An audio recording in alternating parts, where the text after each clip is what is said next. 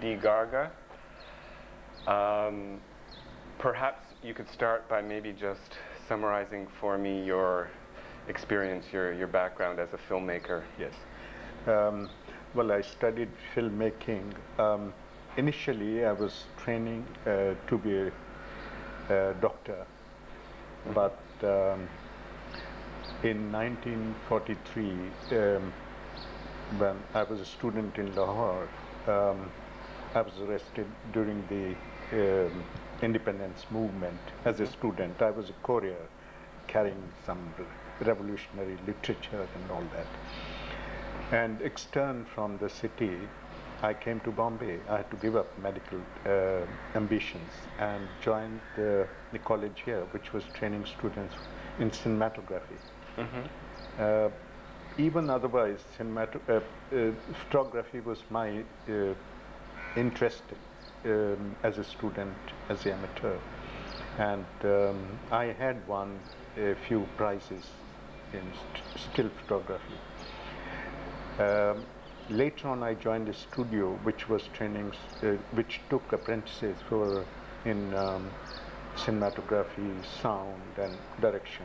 In fact, that was the full, first film institute in India.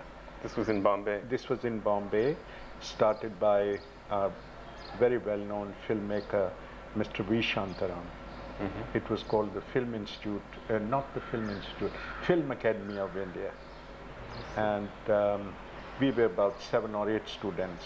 They couldn't accommodate many because the training was mostly uh, on the sets. It was a practical kind of training. You know, we had to uh, be straight away involved um, uh, in whatever department we chose to work in. And uh, from then on, I went into, I did a feature film in 47, 47, yes. But this was during the partition, which in fact became a victim of the partition. Then on, I um, decided to make documentary films.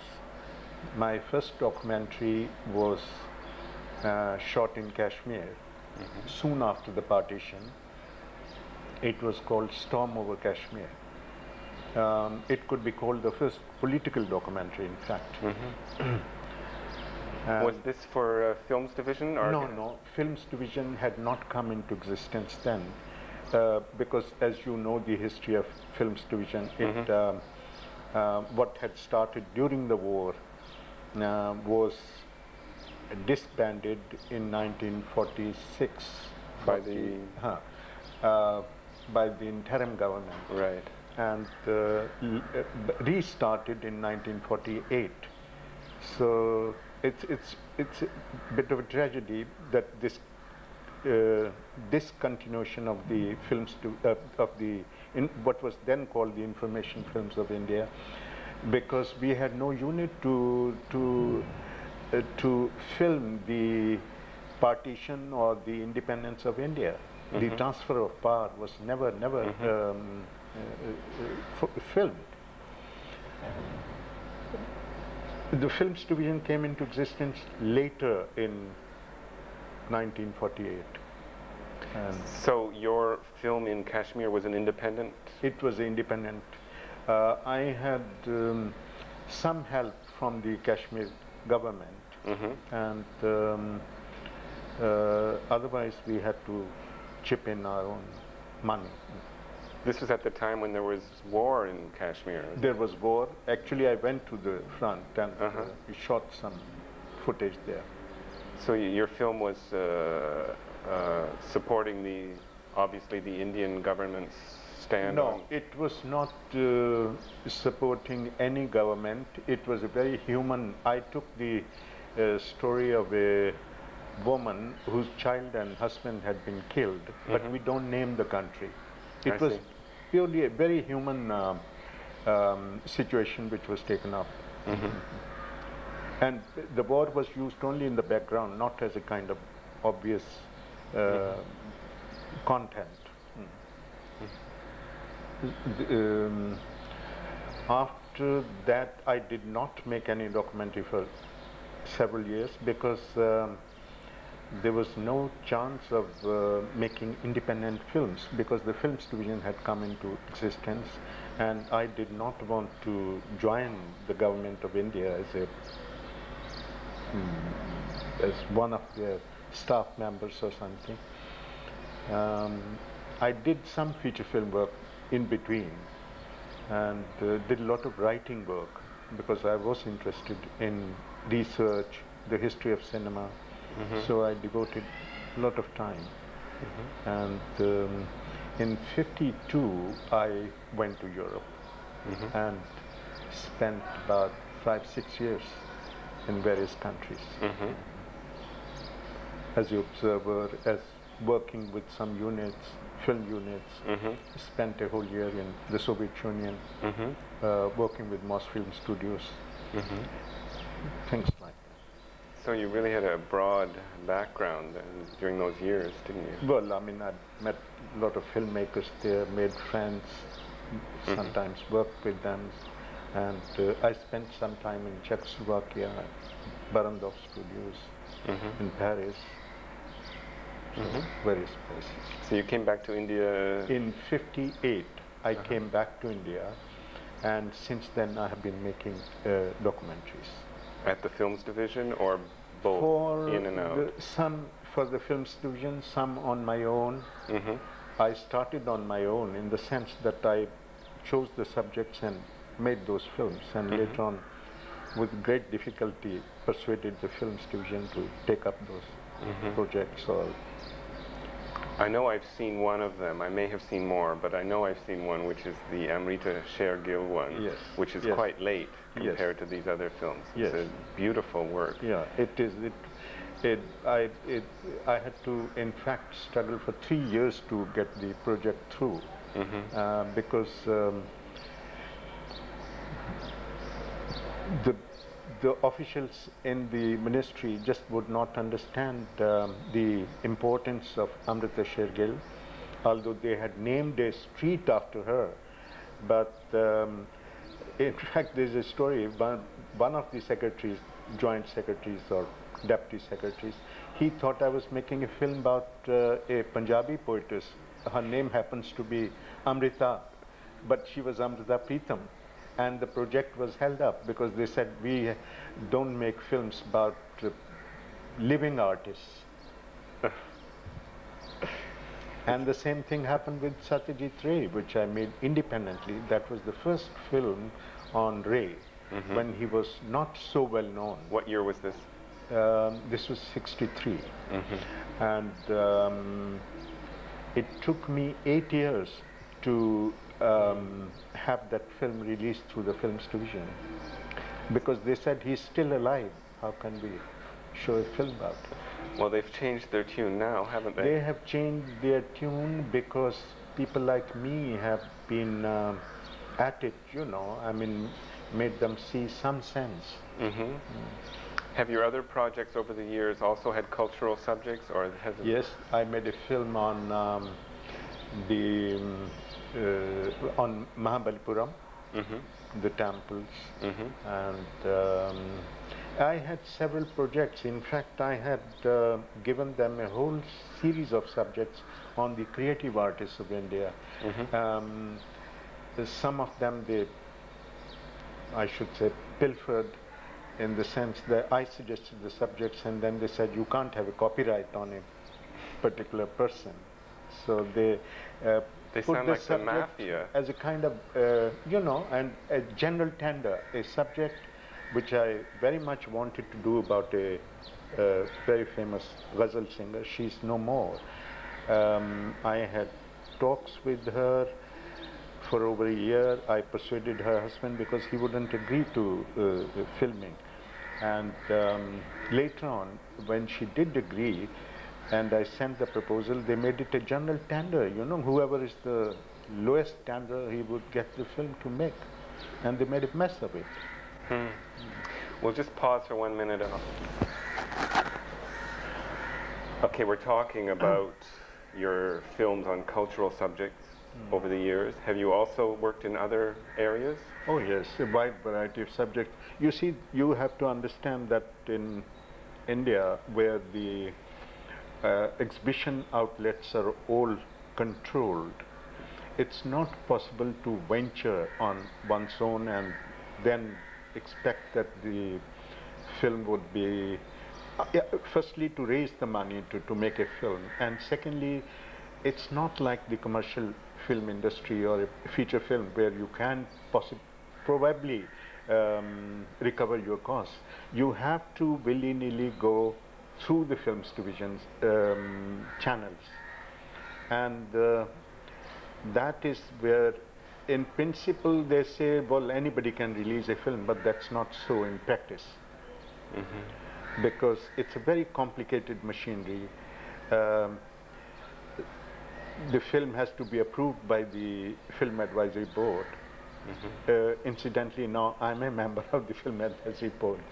Uh, looking after the interests of the film producers but uh, even if the film is approved by the film advisory board, there is no guarantee that the film can be released because no filmmaker is in a position to make so many prints for all India release and dub the film in 12 or 13 or 15 versions.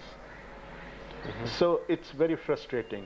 I mean, you you may try whatever you may try, you have to go back to films division. It's a tragic situation. It's a very frustrating situation. Uh, but uh, that's one reason that we cannot choose our own subjects. Either we have to have the subjects approved in advance mm -hmm. or uh, make a, a, produce a film on a given subject. So this has obvious political repercussions, doesn't it? It has, it has. I mean, for example, the political comment would be uh, difficult to make. I mean, any political comment that is controversial or uh, not acceptable to the um, to the party in power. So this means, for example, that um, say during the emergency there was no. Oh no, it was a very dark period, but. Uh, you see, emergency is no was no exception because, as I have explained, uh, there has always been a kind of emergency as far as the documentary film is concerned. Mm -hmm. Because when you have only one channel to pass through, mm -hmm. one outlet, mm -hmm. well, I mean, it's uh, it hardly makes any difference whether you have political emergency or not. Mm-hmm. Recently, I get the impression that there are a few independents who are managing to survive. Maybe over the last 10 years, these young filmmakers have emerged. Would you say the picture is changing a little bit? Well, the picture could change uh, quite a good deal if uh, there were openings uh, uh openings uh, uh, with the Doordarshan, for example, -huh. Indian television. Mm -hmm but again, uh, there too, it's it's um, not so easy. Firstly, they are not very amenable to to documentary uh, film showings. Mm -hmm. Very few documentary film projects get through, and after a great deal of uh, wire pulling or all kinds of wheeling dealing that goes on there, and um, so it's um, if they open up and in the, in the same sense that some of the uh, European networks or the BBC or Channel 4 mm -hmm.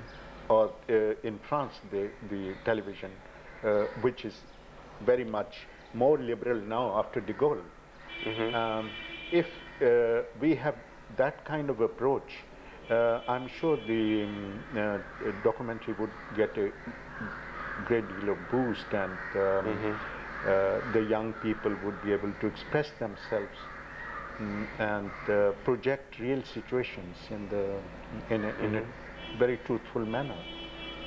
Coming back to the whole subject of cultural documentaries, I get the feeling that this has always been the the area where Indian documentary has been most excellent the best achievement has been there. Yes, yes. And Be- this is, my interpretation would be that this is because it's probably an area that is less political than others. less political and there is another reason. You see the point is that there has been a political domination for the last uh, during the British for the last 200 years and uh, it's a it's a kind of reaction you know oppressed people always sort of go back to their past and uh, um, we have still not probably got over that kind of attitude. Uh, when the um, uh, the filmmakers and the people in general they mature get over this trauma or whatever it was um, i'm sure they would tackle other subjects because i mean i think it's it's all right to go back to the past but it's it's not a very healthy sign. Still, I would say after 40 years of independence, I would say that still the cultural subjects are the most important. It, they are important. They are important because, in a way, they make uh, is a very large country, and um, because of its diversity, ethnic and linguistic, um, people are not aware of each other's cultural achievements or um, past and uh, both literary and artistic. Uh, mm, that way, it's in a way it brings the people together. It's a it's a part of the uh, process of uh, national integration. It has played that part. It's a positive role. But at the same time, I would say that um, one should not hark back too much to the past. You know, I mean, there is a Judging from the 60 films I've seen, I would say the other area of excellence would be biographies. yes, And Yes. probably that's for many of the same reasons that you've just gone over. Yes, yes. Uh, e- even in the biographies, in fact, uh, the uh, of contemporary personalities where they have been involved in um, uh, political activity, you will find those are more interesting than, say, of a religious leader or You mean the uh, the biography of Nehru, for example? Nehru, that's what I'm.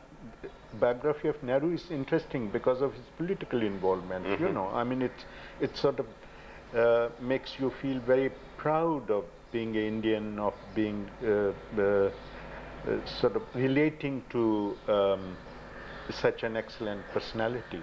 That kind. Mm. My own response to the Nehru films uh, was similar. I, I, I found it very inspiring.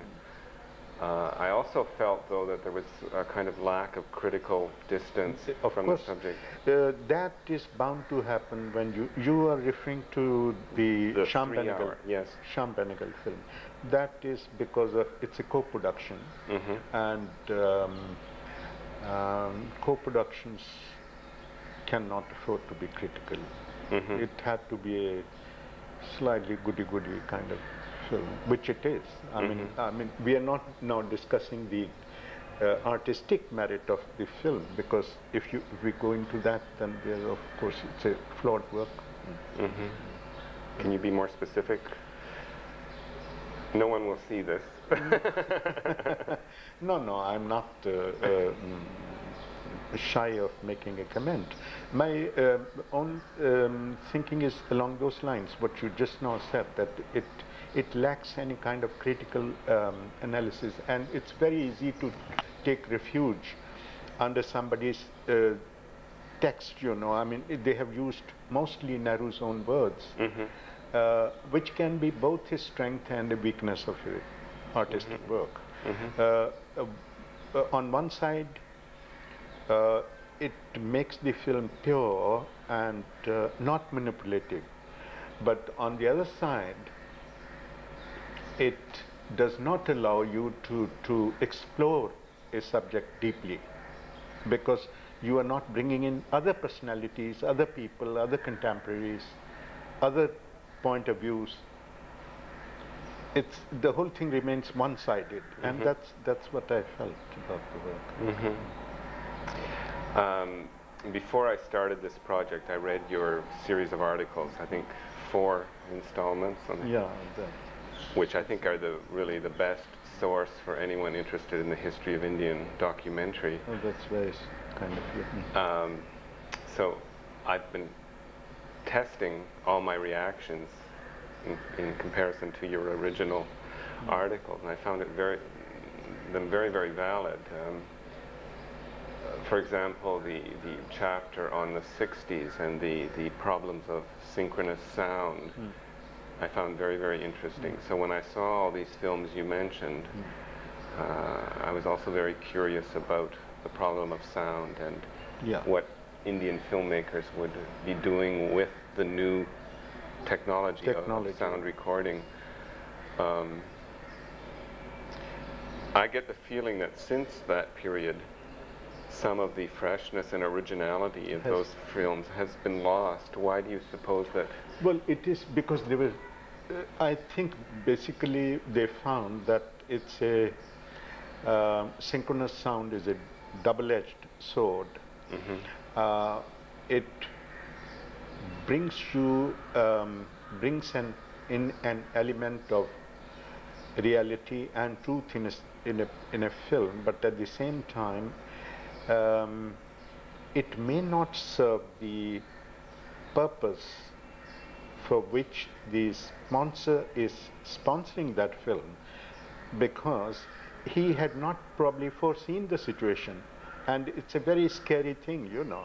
And um, films division which again we come back to the films division because that's the only agency you know um, got scared they got cold feet and um, they abandoned the idea. Now, the interviewing uh, that you find in the films are mostly manipulative hmm because you can edit. I mean, you know all that. Um, whatever statement, any statement can be distorted or can be, you can tailor it to your particular uh, design and uh, this is what is happening now. But the totally um, interview film or uh, synchronous sound film where the narrator has is totally absent uh, does not exist.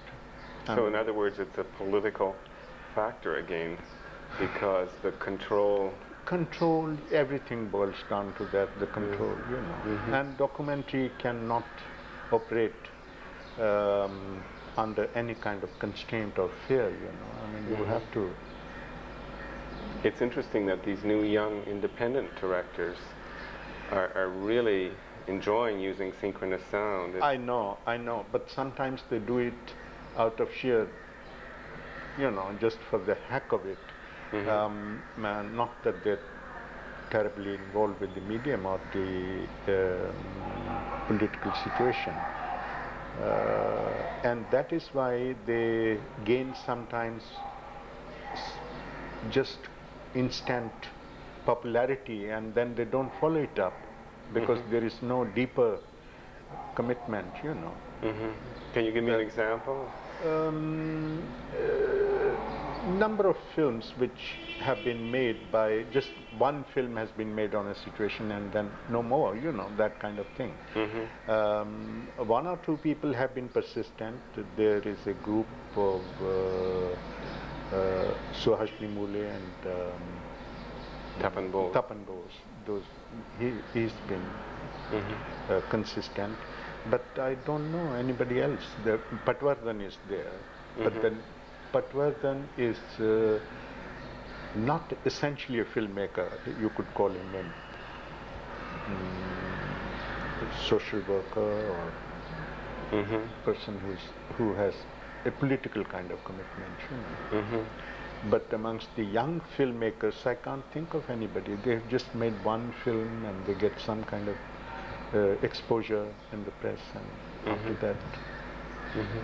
I don't. Getting back to the, the whole question of experimentation and originality, one of the impressions I got as I was looking at all these films division films was that one of the reasons for the sort of inherent conservatism of so many of the films was that they were working in 35 millimeter, and the fact that so much of the uh, originality of Western documentary during this period comes from the lightweight 16 millimeter technology, uh, this, the kind of personal filmmaking that became the style in the West is absent from India simply because there are these huge, heavy cameras, cameras and, and the, large and crews. Crews, yes. That is that's part of the reason.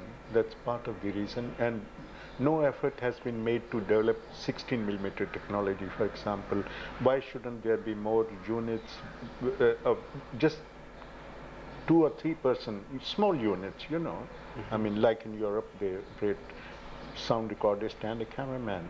You Mhm. don't have a separate sound recordist, assistant director, director, producer, you know, everybody, uh, unit manager. I think if that kind of thing happened, probably it would have liberated the Indian documentary to a um, great extent. But unfortunately, the um, there are two or three reasons. Firstly, the entire industry is geared towards 35 millimeter technology, Mhm. and it's a very large industry. And uh, unless the industry uses 16 millimeter technology, uh, the laboratories or the sound recording uh, studios they don't find it commercially viable to to set up uh, such studios or facilities. Secondly, films division has a monopoly on, they have to exhibit their films in, say, 10,000 or theaters. Now, they cannot uh, uh, set up 16 millimeter projectors unless they are either given free by the government hmm or they have um, to perforce shows 16 millimeter films, you know, for uh, uh, uh, commercial use. So it, the uh, with, with the result that 16 millimeter technology is not commercially viable. That is uh, one reason. The um, number of people have not gone into 16 millimeter. In fact, it becomes very difficult to edit a film. Suppose I shoot a film on 16, I have to blow it up on 35 millimeter to edit the film hmm because um, I can't find a Steenbeck for 16 millimeter. I guess one reason it was possible in the West to use the new technology was that television already existed there. Yes, yes. And there was a huge investment from the television, television industry. i think so that that was probably the main reason and uh, mind you in america uh, there has been a great deal of resistance against the 16 millimeter technology and um, the professionals are all have already gone back to 35 the professionals in documentary. uh, professionals um, whether in documentary or um, the large studios hmm you know, who in some way sponsored, they're all, they, f- they find that, I don't know, there's some kind of a prejudice or something. Mhm. And um, 16 has not become that popular um, as it should have. hmm In England, yes. In England, because of the BBC insists on uh, shooting all their material on um, 16 millimeter. hmm Um, so does Channel 4, but not so much in America. hmm That's interesting. Also in the West, there's this alternative circuit of 16 millimeter distribution in schools and community groups and churches and everywhere that which is uh, again lacking here. You know. We have a very small um, non-theatrical uh, distribution setup. Mhm. There are some universities, probably not so many religious groups, schools, and uh, uh, I can't think of a very large uh, Mhm. uh, network. It's it's a small network. K- Changing the subject a little bit, one of the other the other points you make in this chapter on the 60s was about um, Sukhdev, uh, sort of a legendary filmmaker. I don't know whether it was because he died young, but uh, everyone mentioned Sukhdev as an example of the very original and uh, artistic achievement in Indian documentary in the 60s and 70s. Um, so when I got to see all of his films, I think I'd been set up a little bit too much for them, and I, I- was a little bit dis- Expect disappointed. Yeah, you see, he was a very um, um, now how to he he was in his personal life a very um, outgoing um, effusive a very daring kind of character very mm, extro he was a great extrovert. Mhm, now he would take up causes and you know be all the time sort of uh, project the image of being a radical and um, um, did things which somehow and he had also um, how to put it he was uh, i mean we were very good friends. It's difficult for me to talk about him because um, the personal elements come into it. Um, but if one has to discuss his films probably they will not um, they will not last because they were the uh, they were created at that moment and they created a, some kind of a sensation mhm, at that moment. But, but when the moment was over they lost their mhm, strength or value. I mean that kind of feeling one got in his work. Even uh, when he was alive during our uh, mutual uh, conversations i used to mention to him that um, uh, they are not contemplative enough. You don't go deep into things but you get a thrill out of you know showing a dog peeing probably in front of a temple or you know things like that which is all very well as a you can be irreverent you eh, which is a very nice element in a in a creative artist. But you can't base your whole uh, work on that kind of a gimmick mhm. and uh, i think that is what eventually uh, happens Gimmick was the word that occurred to me Uh-huh, for a lot of, uh-huh, for uh-huh. example, a lot of his editing. a lot of his editing is gimmicky. Um, you see, what he lacked was a deeper thinking of anything. I mean, he just did things on the spur. of- He got excited, take the camera, shoot, you know, something, and um, edit it in a very avant-garde kind of manner, which would excite, which would Mhm, like a kind of visual titillation, you know, you get, Mhm. but nothing more than that. That's, I think, one of the reasons. You go back to films like so- Song of Ceylon, for example, the technique may appear today very dated, but somehow at the end of the film, you feel you have uh, gained some insight into a period, into a people, into Mhm. that is lacking. Yeah, I think I would agree. Hmm. What would you say are the songs of Ceylon from the last 40 years of Indian documentary? the ones that last, Well, that the hold only, up. only song that I can, Song of Ceylon, is what's happening now. uh, it's a Vale of Ceylon. Um, we haven't really, again, you see, the, I'm sure you have gone into all that. Now, the 20 minute format is again a very frustrating um, experience for any filmmaker. You cannot confine a film uh, into a given format. A film may be 10 minutes, it may be 5 minutes, it may be over in 2 minutes, but it can go beyond 30 minutes, 20 minutes, you know. and uh, that's one reason when uh, where um, it's not been possible to tailor every film uh, and do justice to a subject.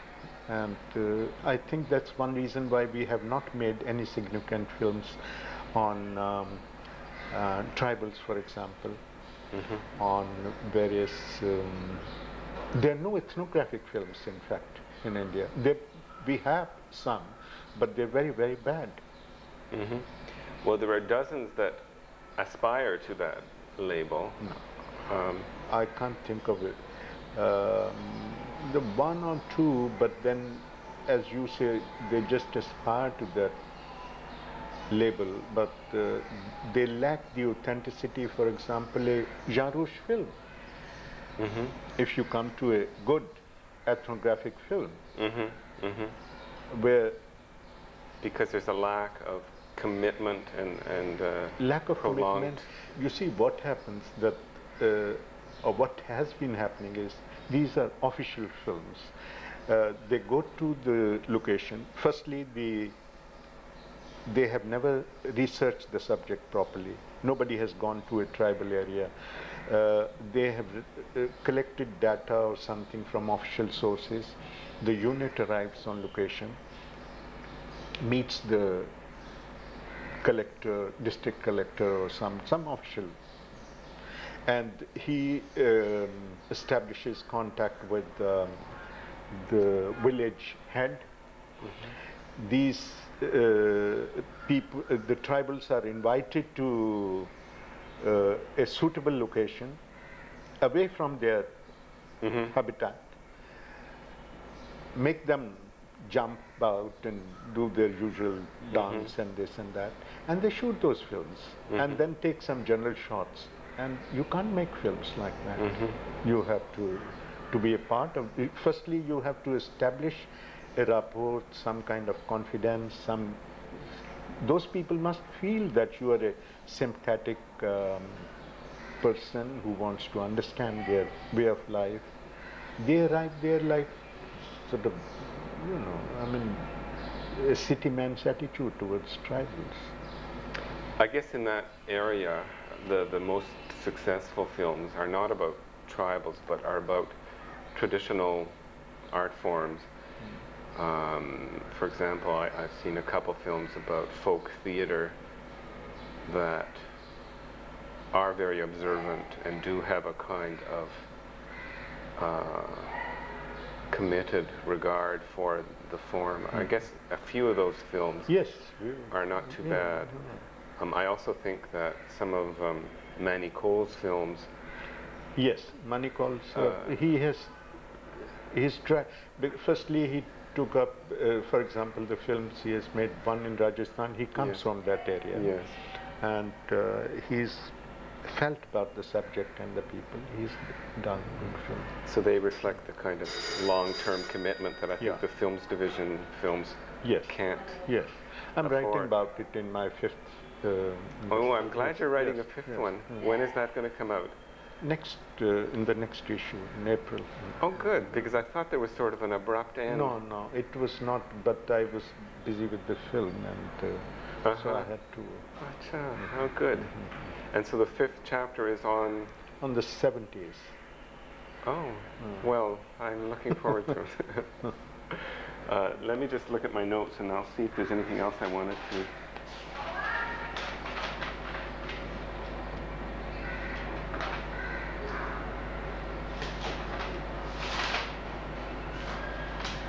You didn't see the Dance of Shiva. Did you see a film called Dance of Shiva? No. Did you work on that one? Yeah. I don't know how I missed that. Um, You can see it in Delhi. You see it in uh, USIS. okay. That was a film done, um, you see, it was joint production with a friend of mine, Das Gupta, Chidan Oh, yes. C. Das Gupta. Uh, it was sponsored by the United States uh, Mhm. um, Information. Information Agency. Yes. and um, the f- it's a it's a film on Ananda Coomaraswamy, the uh, great Indologist and um, art scholar, hmm who was the who was the keeper of the Oriental section in Boston Museum. He's written- He's edited several books on Indian painting, hasn't he? Yes, yes, Yeah. all kind. His Mughal, um, uh, his um, on the Mughal miniatures, his work is very, very. Um, it's a standard work. Mm-hmm. Well, I'd like to see that. Um, Princeton University has brought out his collections Mhm. of his uh, writings. Okay. You can see it in Delhi. Mhm. If you ask the USIS Okay. in Delhi, they will Okay. organize it. Um, getting back to your articles, one other thing that I was curious about was the influence of several of these foreign uh, filmmakers, um, obviously Beveridge and um, Zils and some of the others. Um, 20 or 30 years later, how would you evaluate their impact? I know at the time, in the 50s, it was very, very important for the Indian documentary movement.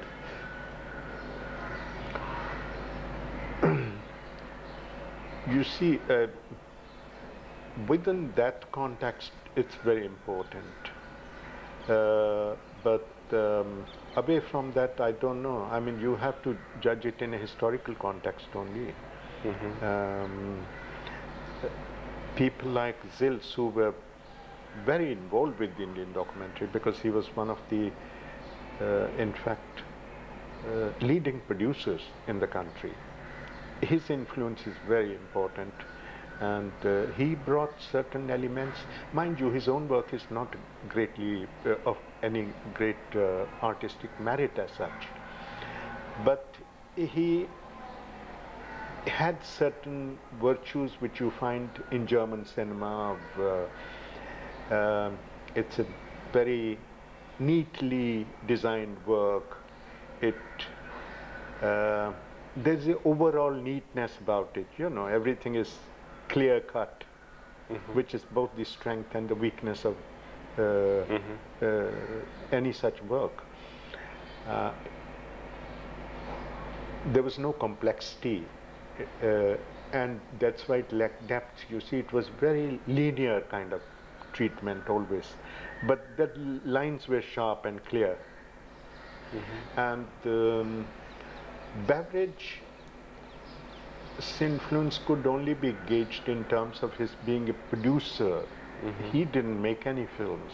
Mhm. He sponsored films because he was the head of the sh- Shell Film unit here. Uh, but apart from that, he was involved in India. He was involved in with the Indian filmmakers uh, at a personal level. So um, I should imagine that he helped in various other ways, but he did not sort of. There was no stylistic uh, contribution. Mhm. Um, others were peripheral because people like Rossellini and others they came to India for a short time and Mhm. uh, probably they opened up um, a few minds to wider vistas, as you Mhm. may say, but uh, uh, nothing more than that. So Beveridge's impact, you would say, would be largely in terms of his personal in uh, personal contribution to certain individuals' work or to I would say that he he he, he helped the independent uh, film producers as a sponsor more than anything else. He probably shaped their work also, but you see, it's like shaping you can't shape it too much. Mhm. If, it, if it's your work, your writing, I can probably contribute something Mhm. if you think that I may be able to contribute. Uh, but you can't entirely shape it like you would do it. Mhm. Mhm. So he, within probably certain parameters, he was able to to um, in, contribute, but uh, not in a very large context. But people like Zils, who trained um, other technicians, for example, Sukhdev was his assistant. He learned a lot from uh, Zils. Fali Bilimoria worked with him, and so many others who uh, his influence was deeper and um, uh, wider. I wondered, I mean, I have no um, uh, answer to this, but I wondered whether the, the predominance of the, the classical voiceover narration form in Indian documentary maybe came from uh, those sources. No, it came largely because of the uh, linguistic pattern of India. You see, the point is that they could not make a film in one language. And if we, for example, um, if we had interview film, say the interview could be only in Hindi or English or Tamil or Telugu in one language, necessarily you had to dub the film if it is to be uh, given a wider um, distribution. So that was one constraint. And that is one uh, argument which has been used by the films division that how can we make these uh, interview films when um, it has to be dubbed in a, for other regions. So this would you, you would say would be a major, This was a, I Factor. I think so. This was one of the uh, reasons why they found that it's easier to dub a film in 15 languages if it's a, just a uh, narration, narrated film rather than uh, a interview film, which would be difficult.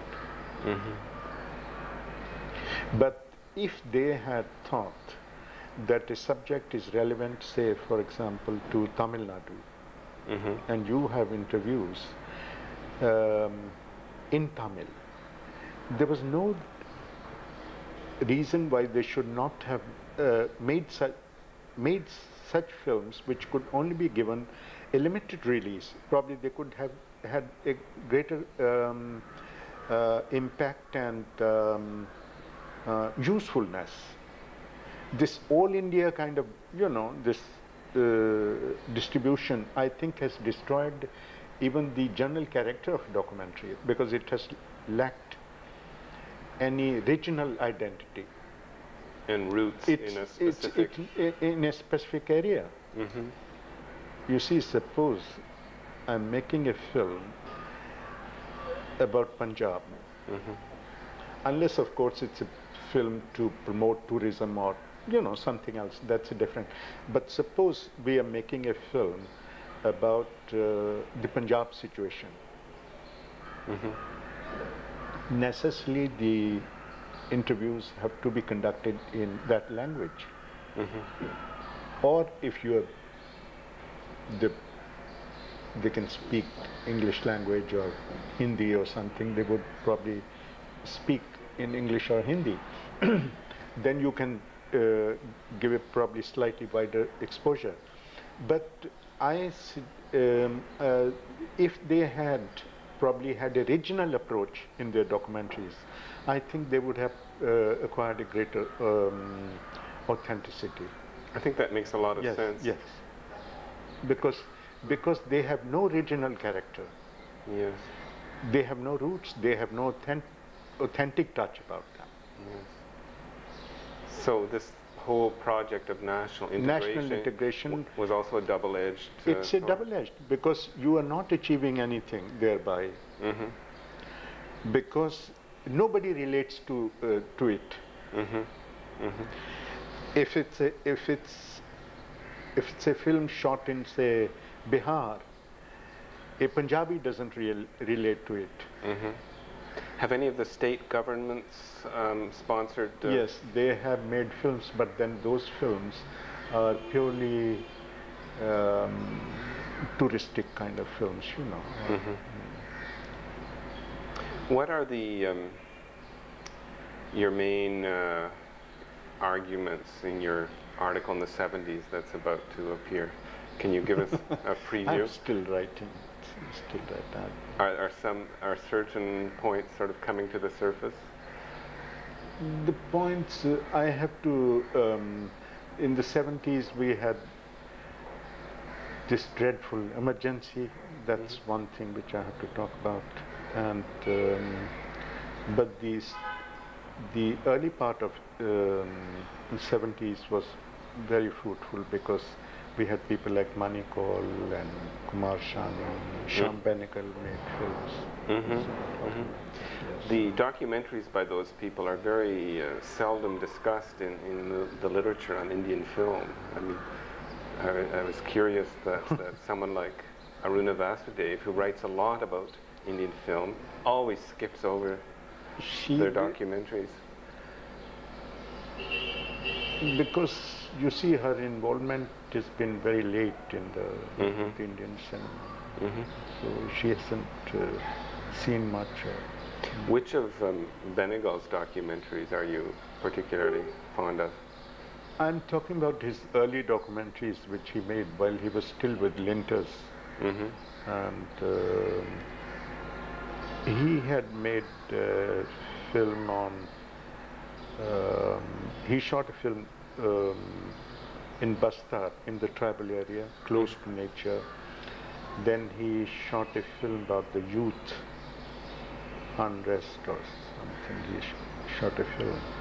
Um, youth and exploration, he made a film. hmm Um, then one or two films uh, were on uh, one film he made child of the street hmm streets now which was about uh, um, one of these vagrant Mhm. children so th- these were some They had a certain impact in that period?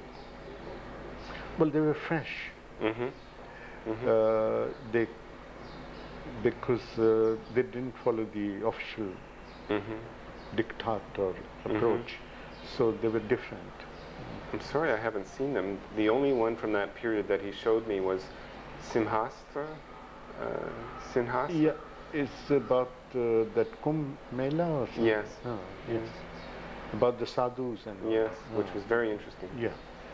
Um, he may not be having the prints or something. I don't. know. hmm And with regard to the emergency, um, what is the general pattern? Everyone running for cover? Or?